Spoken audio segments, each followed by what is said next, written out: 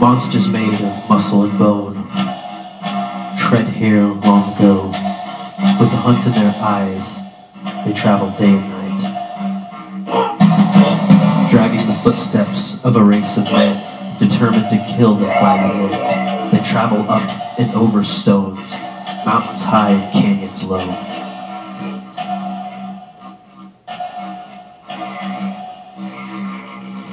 Vulnerable to the death of wild beasts, they push on both monster and men.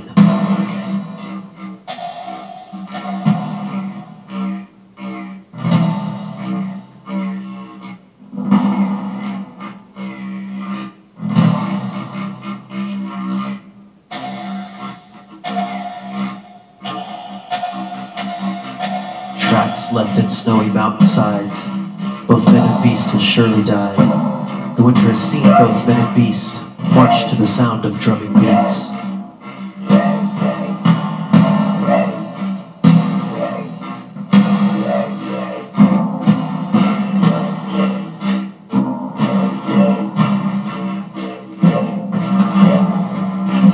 This is the last of them, the few and strong of all of them.